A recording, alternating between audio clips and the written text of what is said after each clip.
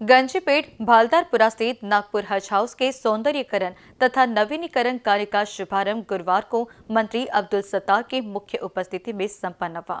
राज्य के अल्पसंख्यक विकास मंत्री अब्दुल सत्तार के हाथों से हज हाउस का सौंदर्यीकरण का उद्घाटन हुआ। इस कार्यक्रम में पूर्व मंत्री अनिस अहमद और महाराष्ट्र राज्य हज समिति के अध्यक्ष आसिफ खान उपस्थित थे।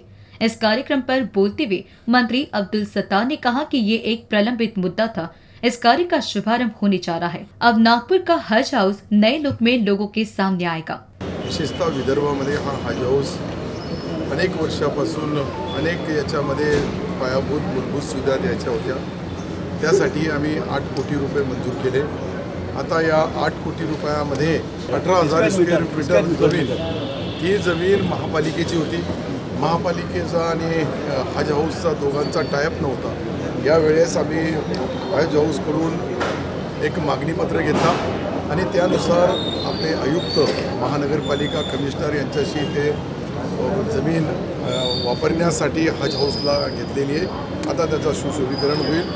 गेटचं सुशोभीकरण समोर जे आपला आमची ही इमारत आहे या इमारतीला नवीन डिझाईन दिल्या जाईल.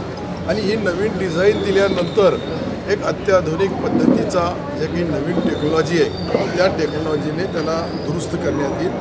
अनेक पायाभूत सुविधा किंवा याला ज्या काही लागणारे जे काही मुस्लिम समाजाच्या हजसाठी जाणारे यात्री जे असतात त्या यात्रींसाठी राहण्यापासून आता राहण्यासाठी मला वाटतं या ठिकाणी आज आज आपण जो केलेला आहे त्यामध्ये चाळीस कमरे आहेत.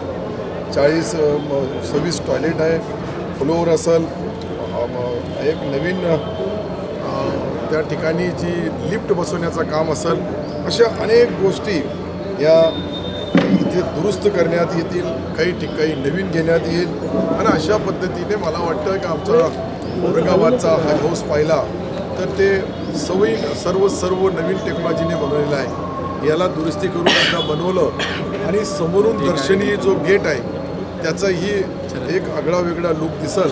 आणि मला वाटतं का हे मध्य प्रदेशमधून काही यात्री इथे येतात आणि इथून नागपूरवरून मध्य प्रदेशचे लोक काही आमच्या विदर्भाचे लोक काही छत्तीसगडचे लोक येतात.